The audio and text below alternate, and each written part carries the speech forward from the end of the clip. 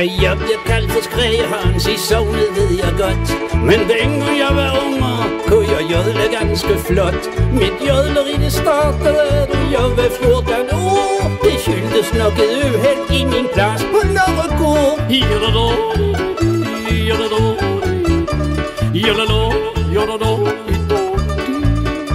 mit hjem var småt og fattigt, vi var få Og mesterfolk.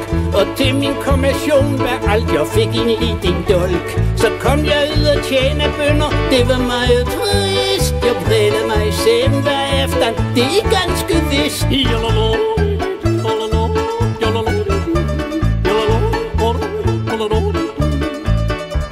Vor forkær Kai var altid flinkere imod mig? Han hjalp mig med med arbejde, og når bunden tog på vej Om søndag, når vi havde fri, så foldes jeg med ham. Til lykken bag om Goring, hvor der var en liten dam.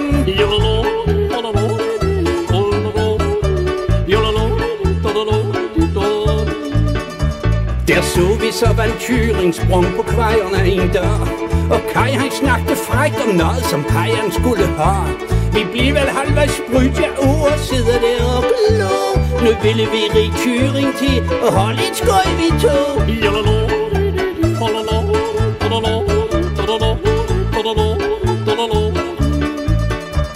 Og Kai fik tjenet Tyring hen til jobbet tæt på mig. Og jeg sprang op på krejterød, men som den tog på vej. Den hoppede og sprang, så jeg røg himle højt til værs jeg kom ned igen, Med ret på jobbet og på tværs. Jodadå, jodadå, jodadå, jodadå, jodadå. Jeg husker inte mere, jeg lå donet under en dør. Han skulle vel til doktoring, hører jeg at Kai han så.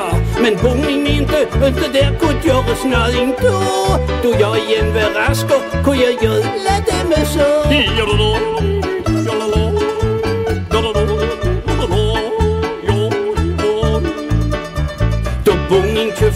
Købte fik jeg farvel og tak så fik jeg plads i hammerværket, hvor jeg skulle slå knak. Men jeg fik sten i lungerne, så jødlingen forsvandt. Og se samtidig jeg til skrægeren, slog godt min skaldede sand.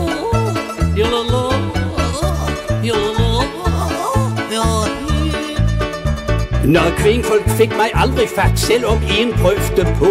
Hun ville noget med mig, som jeg slet aldrig har forstået. Hun tog mig ind i kammerset, og jeg blev helt generet. Hun lå sig sand på sengen, så jeg jodlede fortiert. ja.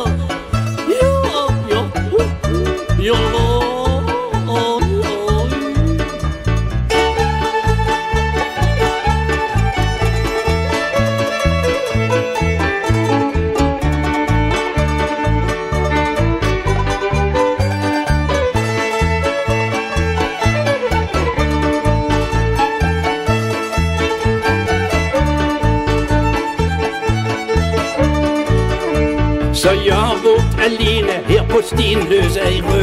Med udsigt over havet, jeg kan se til Christiansø Et liv i strid og pina, yoghurt, tjøk og rival glad Som fattig røv, jeg lever jo, men sikke en dejlig start. Jodadå, jodadå, jodadå, jodadå.